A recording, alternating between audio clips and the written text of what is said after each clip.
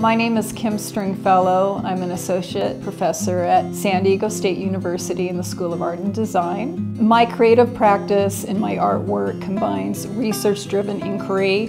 I use methods of cultural geography in my practice, documentary, journalism. Normally the way I work is I spend about two years or so putting together a body of research that develops into a project and I determine how I want to document it. In the past I've documented through photography, I'm starting to work with video now.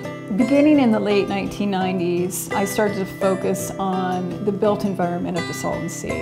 I've continued working on projects about the American Southwest and living here in the southern Mojave Desert, it places me in proximity to work on the Mojave Project, which is the largest, most involved project that I've done so far. And the Mojave Project really looks at the geological landscape of the Mojave Desert, the cultural landscape in terms of history, and it is a way to look at the various stakeholders in this area. Oftentimes these are conflicting uses of the desert and I'm interested in that kind of contentious landscape as well.